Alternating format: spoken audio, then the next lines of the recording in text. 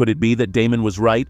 And if Rhaenys had burned them all when she had the chance, Lucerys would still be alive? In the first episode of Season 2, Daemon expresses his annoyance to Rhaenys, knowing that she had the chance to wipe out the Greens. And if she had, Lucerys would still be with them. This confrontation could affect Rhaenys mentally. For despite everything, he was innocent. At the end of episode 9 of House of the Dragon, when Rhaenys pins her gaze on the Hightower, Meleys roars, and all of us fans were unblinking on the edge of our seats, waiting to hear Dracarys. But have you ever wondered what the implications of saying Dracarys would have been at the time? In this video, we will be analyzing an internet theory about the Targaryen family, which talks about what would have happened if the queen who never was burned the Hightower.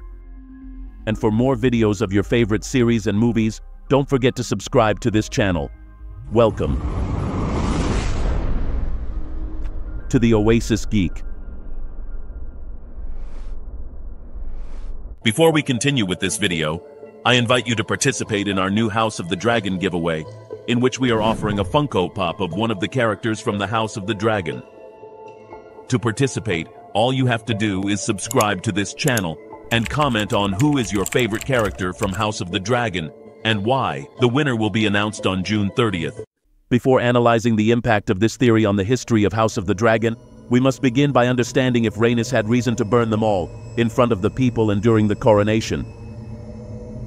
According to the order of succession of King Jaehaerys, Rhaenys was the candidate to occupy the Iron Throne. However, the court did not agree that a woman should occupy the highest power in Westeros. So Viserys is the one who ends up occupying the Iron Throne. This is how Rhaenys receives the nickname of the Queen that never was.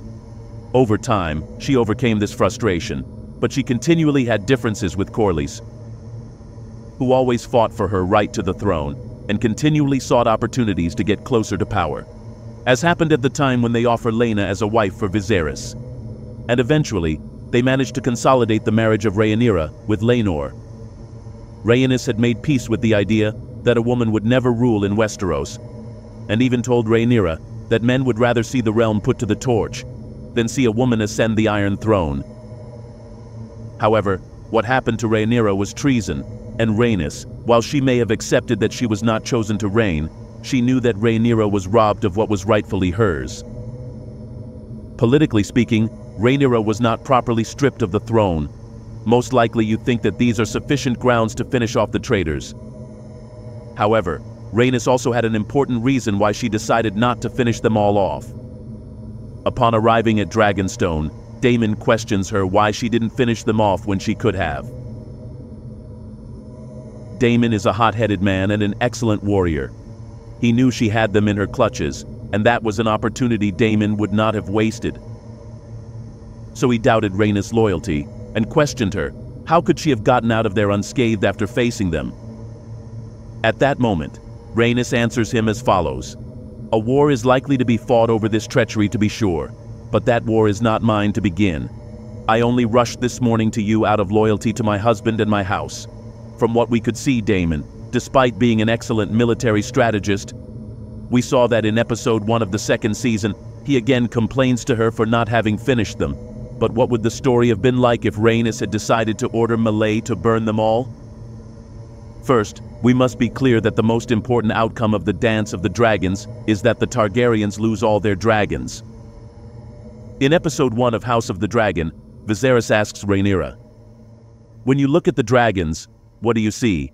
She answers him as follows, Everyone says that we Targaryens are closer to gods than to men. But they say that because of our dragons, without them, we're just like everyone else. After the Dance of the Dragons, even though they continued in power for another 150 years, they never had the same power again. Just as Rhaenyra said, the Targaryens ended up being just like everyone else. But here's where the theory gets interesting. Quora user Hussein shared a very interesting theory about how the dance and future events of Game of Thrones would have changed if Rhaenys had finished off everyone during the coronation. The theory goes as follows, and I quote, If Rhaenys had killed all the Greens at the time of Aegon's coronation, the Targaryens would still have their dragons, by the time of Game of Thrones. They would still be closer to the gods than to men. Also, since they have dragons, Aegon V wouldn't need to experiment to hatch dragon eggs, and that would have avoided the tragedy at Summerhall. This means that the Targaryen family would be larger, and so more powerful, with many dragon riders. So the events of Game of Thrones would not take place. If Robert Baratheon and Jon Arryn really rebelled, because of the hidden relationship between Rhaegar and Lyanna, then the Battle of the Trident would have been similar to the Field of Fire. The Targaryens would continue to rule the Seven Kingdoms, with no one to challenge their power at all. However, the website Today.com brings to light another perspective. The article states the following, and I quote, There is another consequential factor in Rhaenys' decision. If the queen that never was had killed Aegon, and the others on the dais, she could also have been considered a kingslayer. Remember Jaime Lannister? As a member of the Kingsguard he murdered King Aerys II, known as the Mad King, whose madness and cruelty ruled him out of control. Jaime, however, was forever known as the Kingslayer. On the other hand, if Rhaenys had said Dracarys to her dragon Meleys, by finishing them all in seconds, she would have avoided Lucerys' death.